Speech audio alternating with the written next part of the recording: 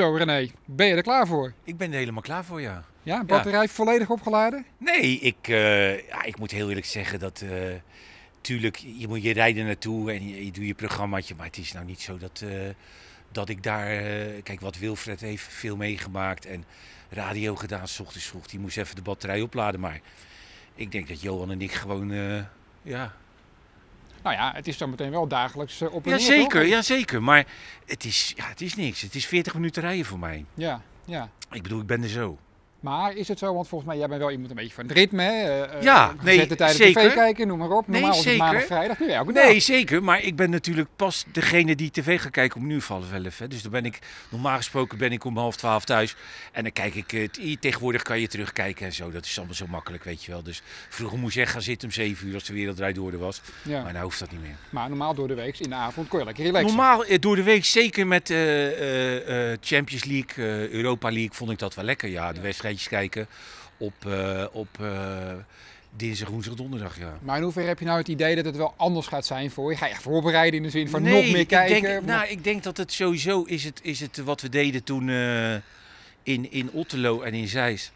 Ja, gewoon de, de beetje de waan van de dag doornemen. En eh, ja, het gaat, het gaat snel hè, zo'n Ja. uurtje. Klein uurtje, maar is het uiteindelijk natuurlijk. Het gaat heel snel. Wij hebben, wij hebben zo vaak gehad deze, keer, deze afleveringen dat we de eerste blokje 40 minuten deden. Ja, En dat we tegen elkaar zeiden, dan zijn we dan al bijna klaar. ja, is ook zo. Is ook Dus, zo. Met elke dag een extra gast. Nou, Ja. Dat was in de, in de Oranje Zomer natuurlijk ook al wel zo Ja. natuurlijk. Maar is dat iets, ja, daar kijk je naar uit. Nee, maar kijk, het, het, het, eh, maar dat komt allemaal vanzelf. Kijk, het lekkerste van een gast is als die gaat zitten en hij denkt, ik zie wel wat er gebeurt.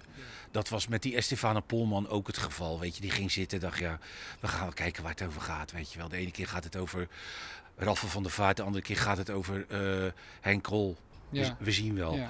En dat is natuurlijk wel de kracht van het programma. De kracht van het programma is niet zozeer dat er iemand gaat zitten die nou, eh, zeg maar, ja, echt dingen gaat zeggen die, die eh, zeg maar, die, eh, waar CNN mee opent. Oh, eh. zo ja. ja. dat is niet echt de bedoeling. Nee, nee. Hey, maar we staan hier nu bij jou even in de tuin, lekker Ja. buiten. Ben je, ben je nog weg geweest? Warme weer opgezocht? Nee, nee, nee, nee, nee. Ik ben een paar keer in België wezen eten.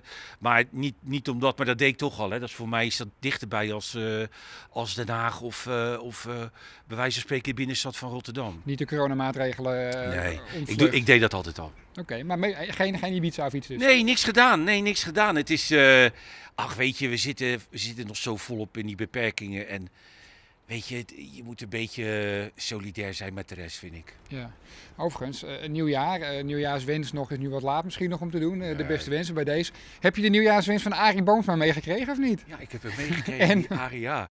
Gelukkig nieuwjaar. Happy New Year. Maak er wat moois van dit jaar. Uitgaan van de mogelijkheden, niet van de beperkingen.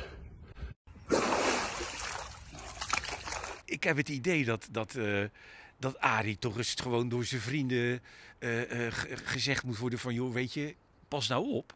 Ja. Je moet ook niet te ver gaan natuurlijk. Arie gaat nu wel hele rare dingen Ja. over Europa halen. Maar ja, je weet, je- ik weet niet wat het, dat de corona met mensen kan doen. Hè? Die Arie is natuurlijk ook al eh, zwaar getroffen door alles. Die gaat steeds gekker doen. Ja. Maar goed, dit soort dingetjes die kunnen ook gewoon aan tafel worden Ja, blijven. tuurlijk, ja, toch? tuurlijk. Nee, sowieso. Ik vind als we de Arie laten zien, moeten we het ook nog een keer in de herhaling laten zien. Ja, Want het is wel spectaculair, moet ik zeggen. Ja, maar dus de, de sfeer zeg maar aan tafel straks, wel dagelijkse show, Nee, dat joh, moet sfeer, een beetje... de sfeer moet hetzelfde zijn als het in Zeist en in Otterlo was.